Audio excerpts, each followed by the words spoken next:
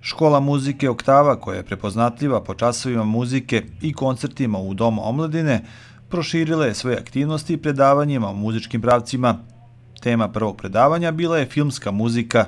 Posetioci su uz inserte iz filmova mogli da čuju nešto više o razvoju i vezama između muzike i filma. Muzika postoji na filmu od samih njegovih početaka i u slučajevima takozvanog nemog filma muzika je bila ta koja je pratila filmsku priču i govorila umesto aktera, odnosno glumaca. Dakle, film i slika koračuju zajedno još od prvog javnog kinematografskog istupanja braća Limijer. Dakle, od prvog filma, prve filmske projekcije 1895. pa do danas kada su upotrebi svi postojeći muzički žanrovi. Dakle, muzika je na filmu ne samo da opiše radnju scene, već i da govori na izrecima.